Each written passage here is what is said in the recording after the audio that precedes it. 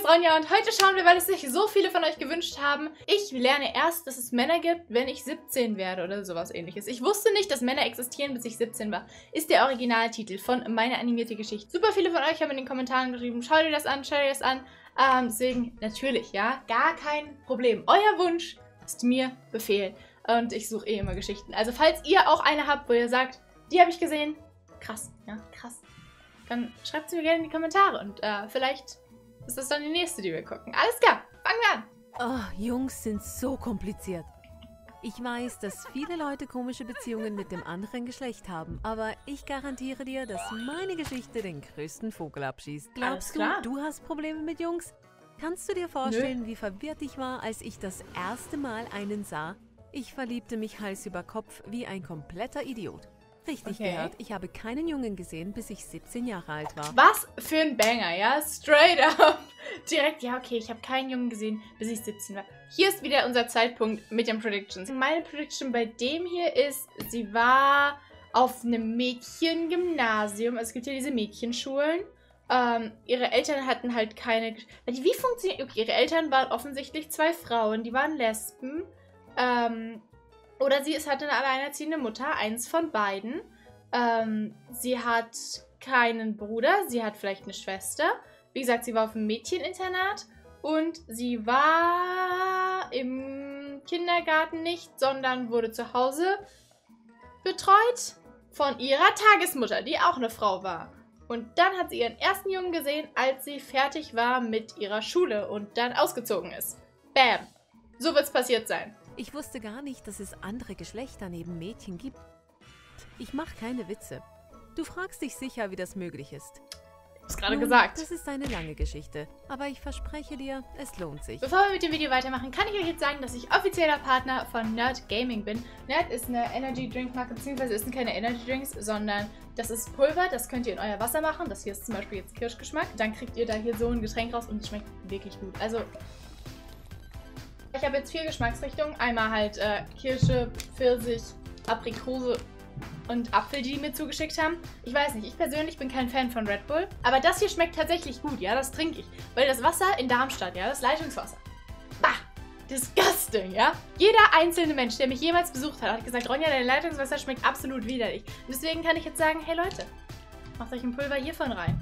Oder ein Löffelchen davon. Und dann habt ihr sowas. Und es schmeckt nicht mehr wie Abfall. Also falls ihr sagt, ich habe auch nicht immer nur Lust auf Leitungswasser und ihr würdet das gerne mal ausprobieren, dann könnt ihr mit dem Code RONJA 10% auf eure Bestellung kriegen. Der Shop ist in der Infobox verlinkt, da könnt ihr einfach draufklicken. Wie gesagt, Code RONJA dann beim Checkout angeben und dann kriegt ihr ein bisschen Rabatt und äh, könnt es auch mal ausprobieren. Ich wuchs nicht traditionell nach dem Prinzip Romantik auf. Stattdessen wurde ich sehr außergewöhnlich erzogen. Als ich bloß ein kleines Baby okay. war, kam ich irgendwie in ein Riesenhaus mitten im Nirgendwo, nur mit Frauen und Mädchen. Wir Internat. alles zusammen. Wir bezeichneten uns als eine Kommune, aber rückblickend war oh. es mehr wie eine Sekte. Wir trugen alle dieselbe Kleidung und mussten alle die gleiche Frisur tragen. Oh, die ist in so einer... Oh, okay. Ja, das, das tatsächlich... Okay, das... Okay. Meinetwegen. Aber haben die nicht meistens, also Sekten, haben die nicht meistens tatsächlich einen männlichen Anführer? Also jetzt, ne? Nur aus meinem Bild. Ich habe gar keine Ahnung davon. Deswegen will ich mich hier nicht zu weit aus dem Fenster lehnen. Aber das ist, was ich vermute. Und ähnlich. Außenstehende dachten, wir wären Schwestern. Eigentlich entschied die Anführerin, wie wir auszuschauen hatten. Okay, die und gab uns Umstylings, um wie ihre Klone zu sein. Manche Mädchen hatten Glück, von Natur aus blondes Haar zu haben, aber ich musste meine Haare bleichen. Oh. Sie nahm es sehr ernst, dass wir alle das gleiche Image hatten. Es ging um mehr als nur die gleichen Kleider und Haarfarben. Dieses eine Mal, als ich ungefähr Weird. acht war, ging dieses Mädchen, das gleich alt wie ich war, in den Wald, ohne etwas zu sagen. Sowas war explizit gegen die Regeln. Sie spielte im Wald und blieb Okay, also es gab, es gab ein Buch mit Regeln, die haben sich alle ihre Haare blondiert als kleine Mädchen. Das ist richtig schlecht für die Kopfhaut, als Person, ja? Mit selbst, äh, hier, wie ihr seht, das hier ist deutlich heller als das, was tatsächlich rauswächst. Blondierten Haaren, das ist voll mies für die Kopfhaut, ja. Das ist richtig schlecht, vor allem als Kind. Meine Mutter hat mir das richtig, richtig lange verboten, irgendwas mit meinen Haaren zu machen, weil die Chemikalien ja deine Kopfhaut angreifen. Und wenn du dann sensible Haut hast, das ist voll mies. Also, Meine herzliches Beileid an namenlose Frau. Wir nennen sie jetzt Emily, okay? F sorry, falls eine von euch Emily heißt, aber das ist jetzt Emily. Ahornbaum stecken. Bis einige der älteren Mitglieder sie finden konnten, waren ihre gesamten Haare mit dem Zeugs des Baums übersät. Eine Stunde lang dem versuchten Zeugs sie ihr Haar auszuwaschen, bis letztendlich die Anführerin Harz, ein Messer holte und ihre Haare schlampig abschnitt. Es sah so schlimm aus. Aber das war noch nicht das Schlimmste. Sie befahl uns alle, uns in einer Reihe aufzustellen. Okay. Eine nach der anderen schnitt sie allen die Haare Haare gleich schlampig ab. Ich oh, ja klar, die sollten ja alle gleich aussehen. Aber sollten nicht alle aussehen wie sie? Warum hat sie sich dann selber die Haare nicht schlecht abgeschnitten? Meine Haare. Und als sie zu mir kam, weinte ich so laut ich konnte. Es war nicht meine Schuld. Wieso werde ich bestraft? Es gibt kein Ich hier sagte die es Anführerin. Es gibt nur ein Wir. Kommunismus! Ich es schon genug spröde von all dem Bleichen war. Zum Schluss schnitt sie hm. sich auch die eigenen Haare. Oh! Wir sahen alle hässlich aus. Darum ging's in der Sekte. Darum ging es in der Sekte. Wir sahen alle hässlich aus. Darum ging es bei uns. Das war so eins unserer Kernprinzipien. Okay, nice. Aber ich meine immerhin konsistent, ja? Ich habe ja gerade gesagt, das wäre ein bisschen dumm, wenn sie sich selber nicht die Haare schneidet. Aber fair, fair. Ich frage mich nur, wie sind die ganzen Mädchen da hingekommen, ja? Also ich meine, die wird ja Eltern haben. Haben die die einfach da abgeliefert? War die ein Waisenkind? Wurde die ähm, es gibt ja oft auch so Kinderheime irgendwie, wenn die, wenn die Kinder in so eine Babyklappe geworfen werden am Anfang, weil sich die Eltern nicht drum kümmern können, weil die zum Beispiel noch zu jung sind. Ähm, ist es so ein Kind? Ich, ich habe viele Fragen, ja? Identität wegzunehmen. Ich weiß, das klingt wie ein Albtraum, aber jahrelang war das mein Leben. Es gibt viele zweifelhafte Sachen, welche ich nacheinander herausfand, aber ich habe sie nie angesprochen, weil ich dachte, sie seien normal. Für eine Weile zumindest. Okay. Eines Tages entschied ich, ein eigenes kleines Abenteuer zu haben. Ich war erst ungefähr acht und dachte mir nichts Schlimmes dabei. Ich sollte nicht von der Farm weglaufen, aber ich... Oh, die haben alle auf einer großen Farm gelebt. Interessant. Sie Stunden lang die Ernte zu pflegen. Ich dachte, ich könnte mich für eine Weile wegschleichen, also wartete ich, bis die Anführerin weg war. Dann sagte ich den anderen Mädchen, dass ich aufs Klo müsse, aber ich habe mich schnell hinter einer Ecke versteckt, als sie nicht zuschauten. Oh. Das nächste, was ich tat, war Clever. vom Haus wegzurennen. Der gute alte Trick, ich muss aufs Klo. Wer hat das denn in der Schule nicht? Ha? Ja, ich fühle mich super sneaky. Ich bin acht, aber ich sage, ich muss aufs Klo, aber ich mache einfach nur Pause und ich bin an meinem Handy. Tja, sie hat es auch gemacht. Gute Arbeit, Emily wie sie jetzt ja heißt. Ich war noch nie so weit weg von der Farm. Ich erwartete mehr vom Wald zu sehen oder etwas anderes. Aber alles, was ich sah, war Zaun. Es war nicht ein oh, gewöhnlicher Zaun, sondern einer mit Stacheldraht. Gefängnis. Dann hörte ich die Anführerin auf der anderen Seite des Zauns. Oh oh. Ich versuchte mich aufzustützen, um einen Blick von der anderen Seite Richtig zu bekommen, spannend aber hier. ich schnitt mich ziemlich übel. Nein! Ich schrie schmerzerfüllt und befand... Ah, dumm, dumm, schlechter Move, schlechter Move. Wenn sie schreit, hört die Anführerin sie doch. Emily, Sch sehen konnte, woher sie kam, stand die Anführerin ah. genau vor mir. Sie war nicht besorgt um meine Verletzungen, sie war sehr wütend. Sie machte sich keine Mühe, um mich zu verarzten und zog mich zu den anderen Mädchen zurück, während ich weinte. Dann zog sie mich am Arm und hielt uns allen einen Vortrag. Zuerst okay, darüber, krass. wie verantwortungslos wir waren, zu glauben, dass jemand einfach so wegrennen konnte und über die Gefahren, die hinter dem geschützten Grundstück lagen. Ich dachte, der Haarschnitt war komisch. Mach dich bereit für was jetzt kommt. Nachdem ich meine Hand bereit hatte, mussten alle an. einen Verband an der Hand tragen. Es war so komisch. Die was? anderen Mädchen Aber, okay. Frage. Frage von mir. Ehrlich besorgt. Sie sollen alle gleich aussehen, ja? Aber sie gehen ja nicht raus. Also sie sind ja immer noch in diesem Grundstück eingesperrt. Sie ver also, wisst ihr, was ich meine? Ähm, also es ist jetzt ja nicht so, als ob andere Leute die sehen würden und sagen, oh ja, Außenstehende denken, wir sind alle Schwestern und ich bin ihre Mutter und wir sehen alle gleich aus. Es ist ja niemand da, wie es scheint, sondern es ist einfach nur die ganzen Mädchen und die Anführerin. Ich habe so viele Fragen. Das macht für mich gar keinen Sinn. Also, wie, wie, sind die Mädchen da hingekommen? Warum ist die Anführerin die Anführerin? Warum sperrt die Anführerin kleine Mädchen?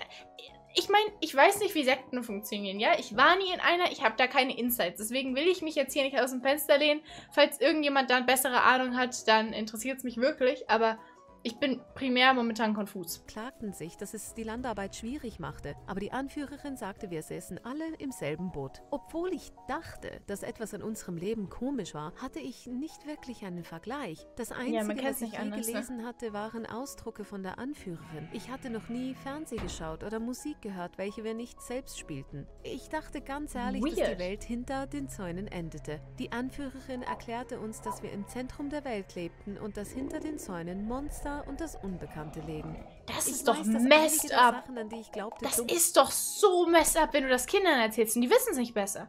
Und die waren nie draußen. Das ist... Oh. Klingen, aber urteile bitte nicht. Ich wusste es nicht besser. Du wunderst dich wahrscheinlich, wie wir uns in einer so kleinen Welt beschäftigten. Naja, es war nicht leicht. Zuerst einmal beteten wir sehr viel. Uh. Meine gesamte Existenz drehte sich um diese Religion, die die Anführerin selbst erfand. Unser Glauben nice. Einfach straight up. Ich meine, ich bin kein groß, ich bin persönlich jetzt nicht religiös, deswegen habe ich halt nicht so viel von dem ganzen religiösen Kram. Äh, falls das jemand ist, dann ne, ist schön, aber also mich interessiert es einfach nicht so sehr. Aber das ist natürlich auch einfach kackendreist, wenn du einfach irgendeine Religion selber erfindest und du bist so, ich bin eure Anführerin, betet mich an, ich bin euer großer, weiß ich nicht was, Meister. Was? Wie jetzt? drehte sich um die Wichtigkeit von Disziplin und harter Arbeit. Wenn wir nicht auf dem Hof arbeiteten, waren wir am Beten. Einmal verbrachten wir acht oh, Stunden am Stück auf unseren Knien in der Stille. Meine Knie oh. taten so weh. Beten und Arbeiten waren die einzigen Sachen, welche wir machen durften. Ich fragte die Anführerin, wozu wir so viel beteten, weil meine Knie so weh taten. Sie sagte mir, dass wir für die zwei einzigen wichtigen Sachen im Leben beteten. Die Anführerin? Die unserer Schwestern und um Babys zu kreieren. Ich um weiß, Babys was du denkst. Kreieren. Wie bekommt man Babys in einer Gesellschaft nur mit Frauen? Du musst mir versprechen, nicht zu lachen, wenn ich, ich dir das lachen. erzähle. Man hat mir nie erklärt, woher Babys kommen.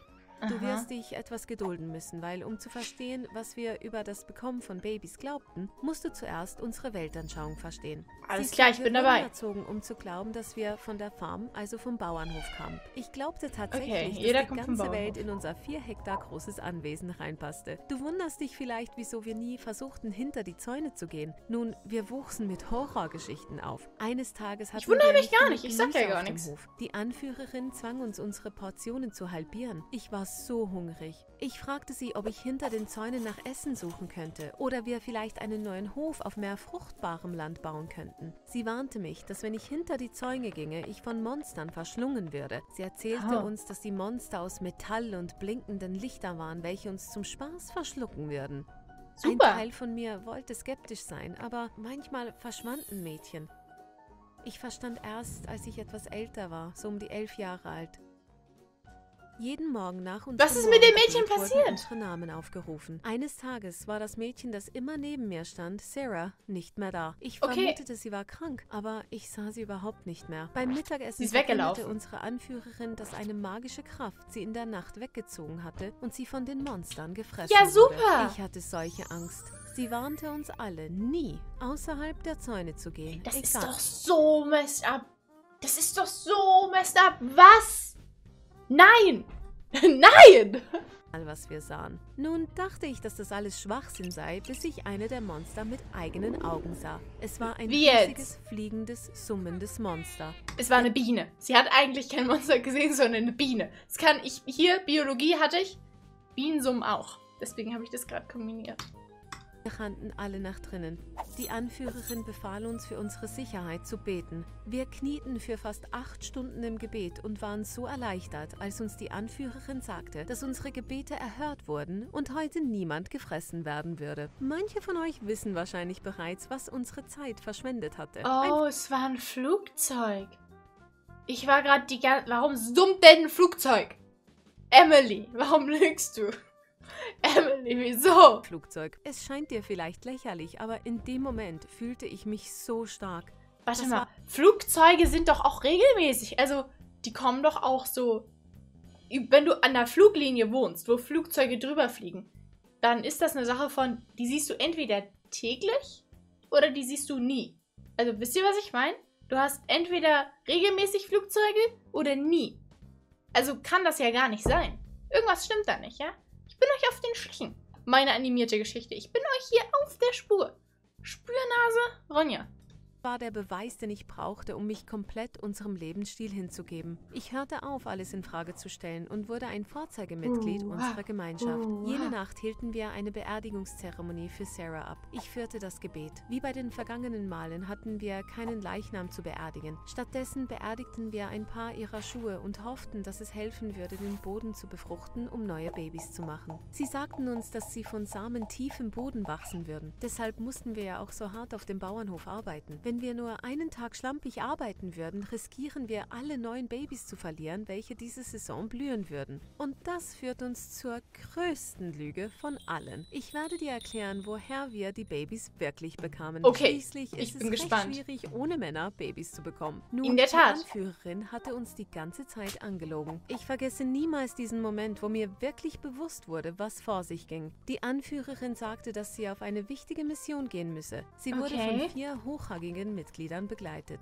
Ich fragte sie, wohin sie ging, und sie sagte, sie ginge, um die Babys zu sammeln. Als sie zurückkam, Sie wurden sie im geheimen Keller versteckt. Und wenn wir hart genug What? arbeiteten, die Saison, dann würden wir neue Babys bekommen. Was?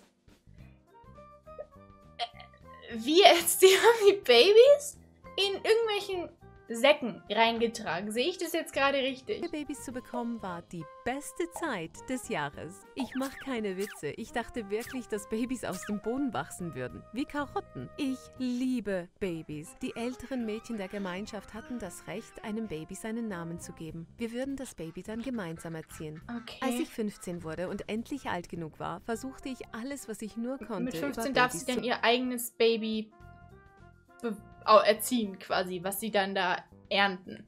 Okay. lernen. Und dann fühlte ich mich bereit dazu und fragte, ob sie mir helfen würde, mein Baby anzupflanzen. Die Anführerin dachte einen Moment darüber nach und sagte mir dann, ich müsse härter arbeiten, um meine Treue zu der Gemeinschaft zu beweisen. Ein Baby zu bekommen ist die größte Ehre, welche man erhalten konnte. Die nächsten Aha. Jahre, als ich im Rang aufstieg, bekam ich mehr Privilegien, das Grundstück zu erforschen. An meinem 17. Geburtstag wollte die Anführerin mich treffen. Es war so, weil die Oh. Arbeit für uns einen hohen Stellenwert hatte. Okay, jetzt, jetzt geht's los, ne? Weil jetzt ist sie 17. Das heißt, jetzt kommt der Moment, wo sie ihren ersten Jungen sieht. Jetzt ist die Frage natürlich, bricht sie aus? Oder führt die Anführerin sie wohin? Oder was, was genau passiert? Das erfahren wir dann in der nächsten Folge. Der Part ist nämlich 20 Minuten lang. Ich setze mich jetzt hier nicht hin.